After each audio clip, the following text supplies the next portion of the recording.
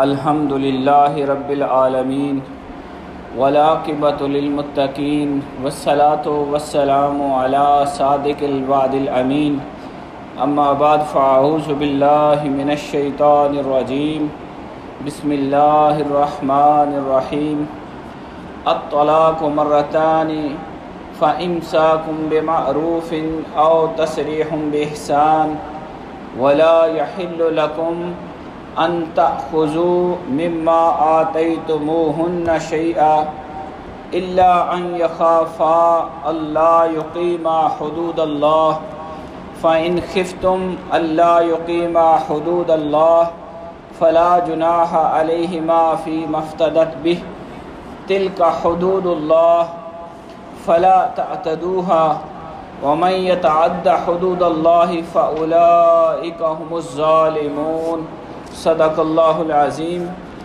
इन्नल्लाह व मलाइकतहु युसल्लूना अलन नबी या अय्युहल्लज़ीना आमनू सल्लु अलैहि व सल्लिमू तस्लीमा अल्लाहुम्म सल्लि अला सय्यदिना व मौलाना मुहम्मदिन व अला आल सय्यदिना व मौलाना मुहम्मदिन व बारिक वसल्लम वसल्लि अल्लाह रब्बुल इज़्ज़त की तौफ़ीक और उसके करम और उसके एहसान से आज माह ज़िलहज्जा की पहली तारीख़ और ये इस्लामी महीनों में इंतहाई मुतबरक, मुबारक और बासआदत अयाम हैं। इनको अयाम अशरा यानी दस दिन कहा जाता है, जिनमें अल्लाह रब्बुल इज़्ज़त अपने बंदों की हर दुआ को कबूल फरमाता है और इन दिनों में खसूसी अज़कार और खसूसी तौर पर अल्लाह की याद को करने का हुक्म और तरगीब दी गई है। जैसे कि आप जानते हैं, ये हज के दिन हैं और हज इस्लाम के अरकान का एक अजीम रुकन है और इसी दौरान कुर्बानी का हुक्म भी है साहिब हैसियत पर। तो हाजरीन ग्रामी, इन दिनों का एक एक लम्हा जो है वह हमारे लिए बख्शिश, मगफ़रत और रहमत का दिन है। तो आप इन अयाम को बाकायदा तवज्जो के साथ, पूरे अहतमाम के साथ अल्लाह की याद करते हुए, अल्लाह के अहकाम पर अमल करते हुए और ख़ुद को गुनाहों से बचाते हुए गुजारें। और अल्लाह रब्बुल इज़्ज़त की बारगाह में अपने लिए भी दुआएँ करें और पूरी उम्मत मुसलमान के लिए दुआएँ करें। और खसूस नौ ज़िलहज्जा का रोज़ा रखना, ये बहुत बड़ा कार सवाब है। इन अगले जुमा पर कुर्बानी के अहकाम बयान करने की कोशिश करूँगा। आज हमारा मौजू सूरह बकरा की आयत नंबर दो सौ उनतीस, ये हम तरतीब के साथ पढ़ते चले आ रहे हैं। अल्लाह करीम इरशाद फरमाता है अतलाक मर्रतान तलाक सिर्फ़ दो बार तक है। फ़ाइमसा कुम्ब मारूफ फिर या तो बीवी को अच्छे तरीके से जोजियत में रोके रखना है और तसरीहम बेहसान, या फिर भलाई के साथ छोड़ देना है। वला यहिल्लकुम तुम्हारे लिए जायज़ नहीं है। अंता खुजो, के तुम वापस लो, मिम्मा आते तुम शैया जो भी तुमने उन्हें दिए हैं, उन चीज़ों में से, उन तहफ़ में से, उन उन चीज़ों को वापस लेना, ये तुम्हारे लिए जायज़ नहीं। इल्लाफ़ा हाँ एक सूरत है वापस लेने की कि अगर वो दोनों खौफ रखें, अल्लाह यकीमा हदूद अल्लाह, कि वो अल्लाह की हदों को कायम नहीं रख सकेंगे। अगर मियाँ बीवी के तौर पर आपस में इकट्ठे रहे तो उनके अंदर फसाद बर्पा होगा, गुनाह होगा, ख़ता होगी झगड़ा होगा तो फिर इस सूरत में वो अपने चीज़ों को वापस ले सकता है। दोबारा फरमाया, फ़ाइन खिफ तुम लोगो, अगर तुम्हें खौफ हो, अल्लाह यकीमा हदूद अल्लाह कि ये दोनों अल्लाह की हदों को कायम नहीं रख सकते, फ़ला जुनाह, फिर गुनाह नहीं। अलहिमा, दोनों पर। फ़ी मफ्तदत बेह, जो उन्होंने सदका किया है। यानी कुरान मजीद यहाँ पर खुला का एक हवाला देते हुए हमें समझाता है कि अगर दोनों के लिए अल्लाह की हदों को कायम रखना मुमकिन ना हो तो उस सूरत में उन पर कोई गुनाह नहीं। क्या गुनाह नहीं?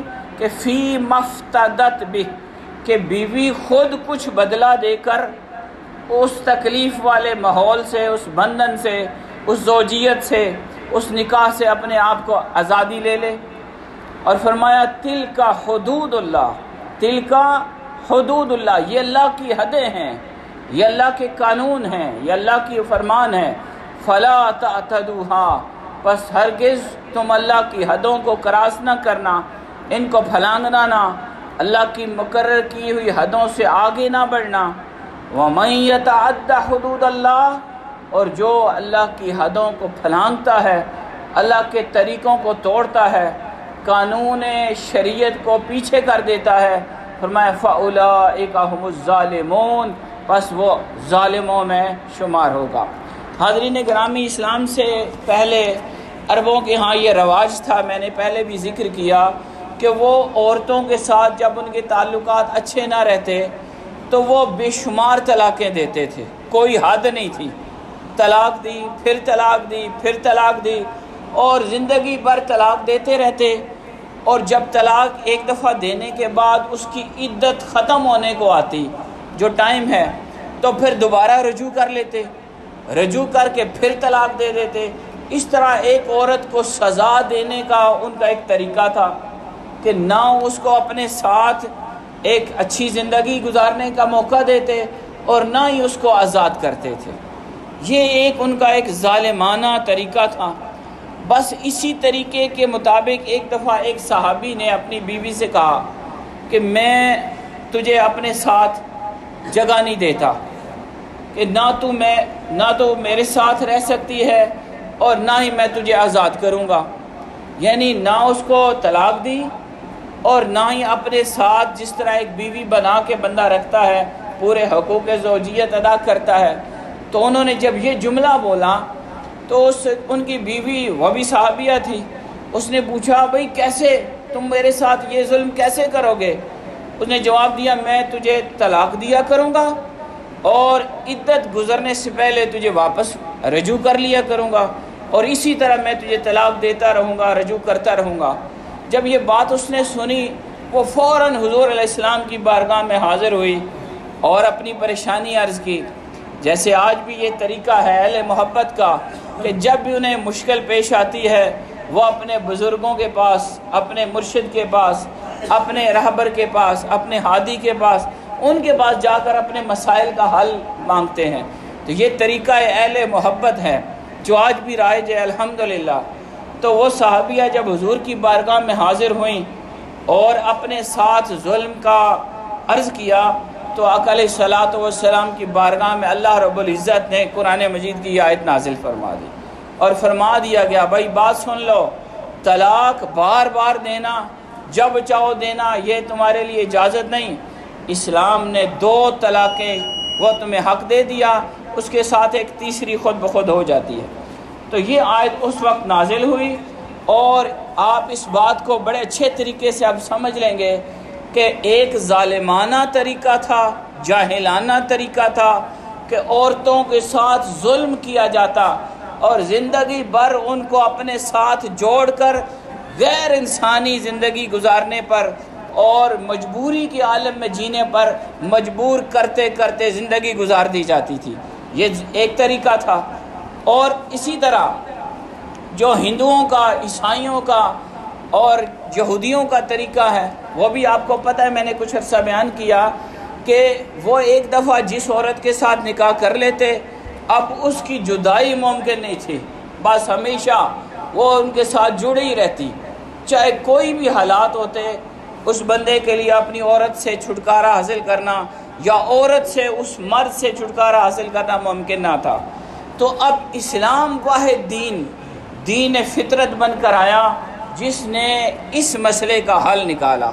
औरतों के साथ जुल्म के तरीके को ख़त्म किया और खामद को दो से तीन मरतबा तलाक देने का एक तरीका देकर उसको महदूद कर दिया गया।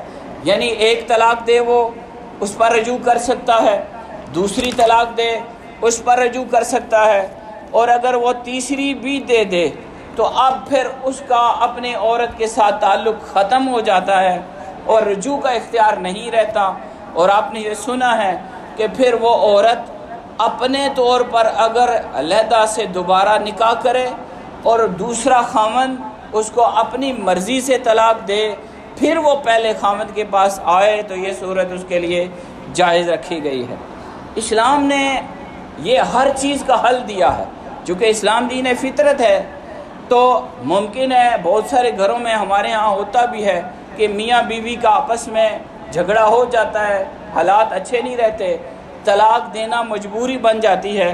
तो इस्लाम ने तलाक देने का एक तरीका बताया कि मर्द को अपनी बीवी के, को अगर तलाक देनी हो तो वो जब हैज़ से पाक हो, खून वाले दिनों से, वो दोबारा जब पाकी के अयाम उसके शुरू हों तो उसमें एक तलाक दे। और उसके साथ मजामत भी, जमा भी ना करे। बस जब औरत खून से पाक हुई, हैज़ से पाक हुई तो हर उसको कहते हैं पाकी के दिन। जैसे पाकी के दिन शुरू हों, एक तलाक दे और उसके साथ ताल्लुकात भी जोजियत के ना रखे। फिर दूसरी मरतबा, जब अगर वो तलाक देना ही चाहे तो अगले महीने दोबारा जब वो उसके दिन ख़त्म हो, खून वाले, वो पाक हो तो उस पाकी के दिन में वो दोबारा तलाक दे और उसमें भी वो अपनी बीवी के साथ ताल्लुकात ना रखे।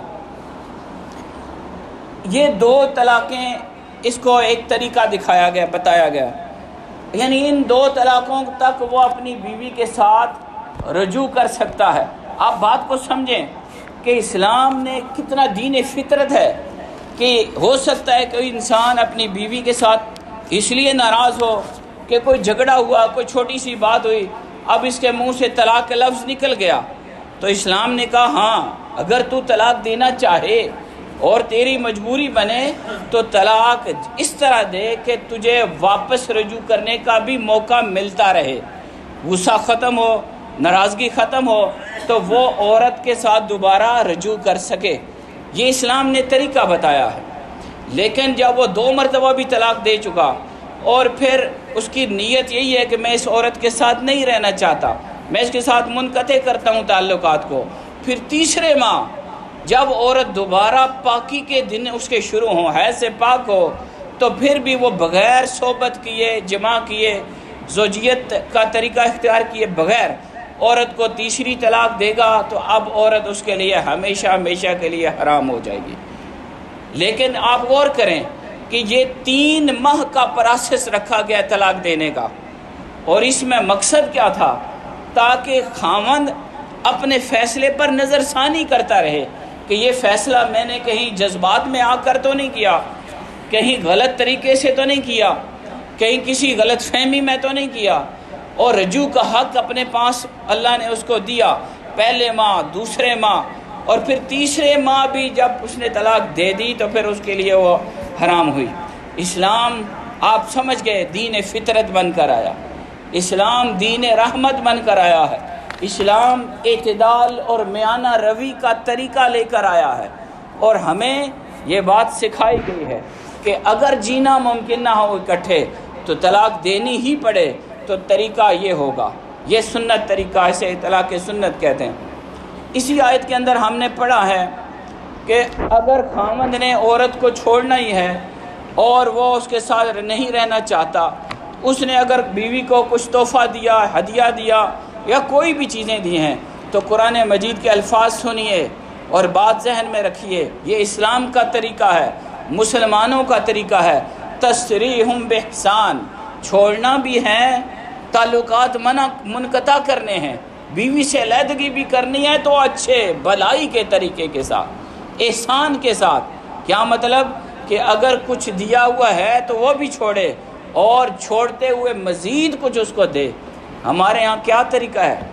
आप देख लें केसेस किए जाते हैं, अदालतों में रजू किया जाता है, इधर वाला वकील भी झूठ बुलवाता है, उधर वाला भी झूठ बुलवाता है, और एक दूसरे के ऊपर आम चढ़ाते हैं। वो कहते हैं, ये खा गई। दूसरा कहता है, वो वो इतना ले गई। और एक दूसरे के साथ इल्ज़ाम लगाए जाते हैं, और झूठ पर मबनी जिसका ज़ोर लगता है, वो फैसला करवा लेता है। इस्लाम ने कहा, नहीं, ये कोई ऐसी बात नहीं। अगर कट्ठे रहना मुमकिन नहीं तो ठीक है, छोड़ दो। लेकिन तरीके से हर माह एक एक तलाक दो और जब तुमने पक्का तय कर लिया है, तीसरे महीने भी दे दो और अच्छे तरीके से तुमने उनको रुखसत करना है। इसी आयत के अंदर आप देखें तो कुरान मजीद ने खुला का भी बयान फरमा दिया है।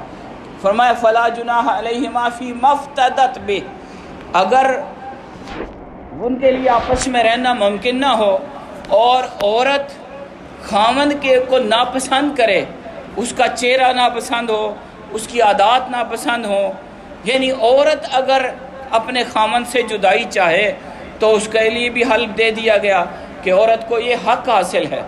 यहूदियों ईसाइयों का और गैर मुसलमों का, का तरीका नहीं रखा गया कि अब नाम लग गई तो मरते दम तक। हमारे यहाँ इसको पॉजिटिव सेंस में भी एक बात की जाती है।